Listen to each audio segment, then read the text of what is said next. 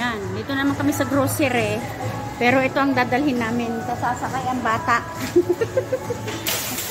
Sasakay ang bata. Ayan. Hmm.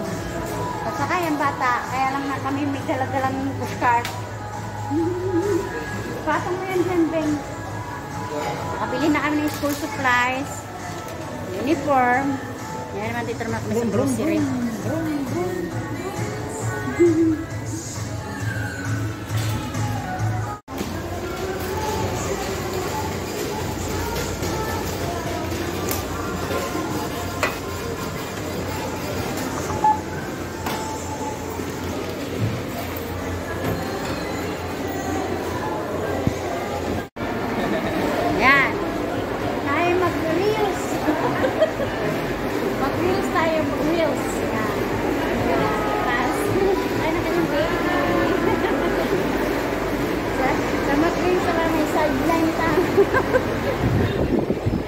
Pauwi na kayo, Tas?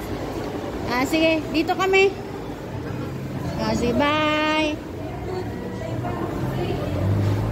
Tapos nang nag-shopping.